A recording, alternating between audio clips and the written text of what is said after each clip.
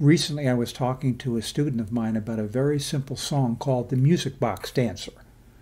I had listened to it earlier and I thought it was a good example of something that uses only 1, 4, and 5 chords. It sounded to me like C major, so I reached over to the piano to confirm it, but it turns out it's in D flat major. Before I go any further in this video, I will play one note on my piano, and it can be any one of all the white and black notes on the piano. Here it is.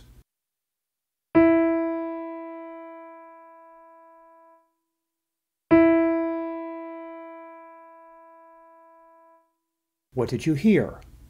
If you know exactly what it is without a reference, you probably want to do more investigation into how accurate you are. The answer to what I played is E. So if your answer is E, either you got lucky or you may have the ability to recognize pitch without a reference. You would have to do a lot more experimentation to find out how accurate you are if you don't already know. Unfortunately, I can't give you another note now to listen to that will immediately test pitch recognition without a reference because the moment you have heard the one note that I played, you can get a second note from the first note, and that's called relative pitch. So, as I already said, when I guess a note that I hear, I am exactly right about 50% of the time. But the other 50% of the time, I will be off one half tone. However, I am never off more than a half tone. So my pitch sense is not totally accurate, but it's pretty close. A person with true perfect pitch will be right every time. Such a person will never be off one half tone.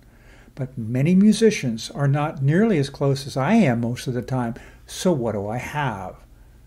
I call it imperfect pitch. I obviously don't have perfect pitch, also called absolute pitch, but I'm close, and I use my imperfect pitch to good advantage.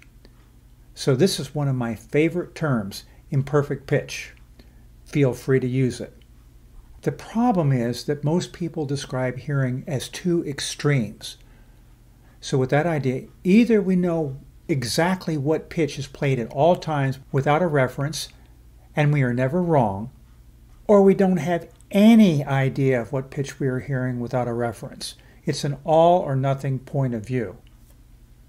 But it is more likely that each of us have some degree of accuracy that probably could be measured over time.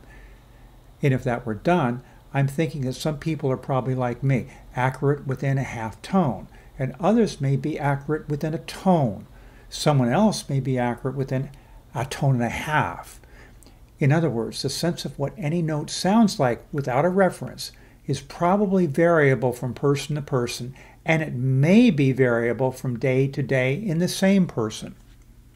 And this is why I think the term imperfect pitch is something that we need. It describes the idea that there are probably infinite degrees of sensitivity to pitches without a reference. So perhaps you have forgotten what that first pitch was that I played here. Let's play another one.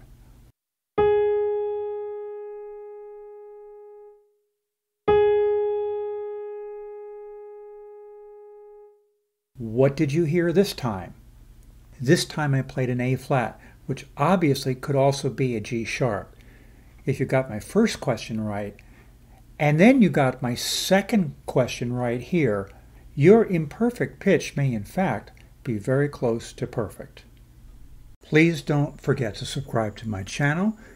Leave me comments about anything you like, comments about anything you'd like to see in the future, and remember that I consider all suggestions.